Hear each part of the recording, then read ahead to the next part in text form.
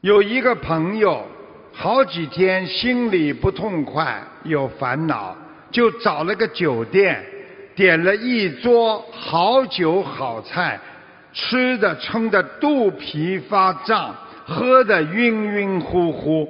突然发现钱包没有带，于是他打电话给医院的一个同学。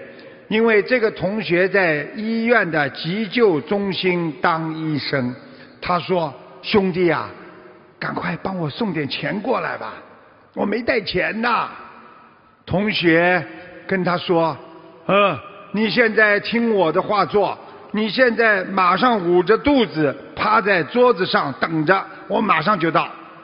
一会儿，咿呀咿呀咿呀。”这个同学穿着个白大褂，坐的救护车就来了，翻了翻他的眼皮，跟那个饭店的老板说：“哎呀，好像是食物中毒啊！”马上给他打吊瓶儿，指挥人用担架把他抬上了救护车，把饭菜吃剩的一些半瓶酒都全部打包，说。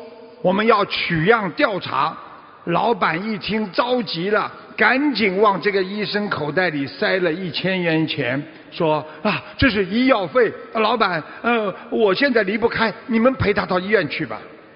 上车后，同学就把吊瓶拔了，跟他说：“嘿嘿，同学啊，你还装的真像啊！我没有钱借给你的，我也是没有办法的，打个包回去。”没喝好，接着喝；没吃好，接着吃。我值班了，就不陪你了。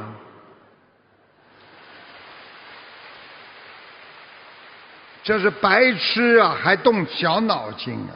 现在的年轻人，只要有利益，什么办法都敢想。所以要让青年人好好的学佛念经，改变心态。你看看心灵法门。多半以上都是年轻人，这个佛法就有希望了。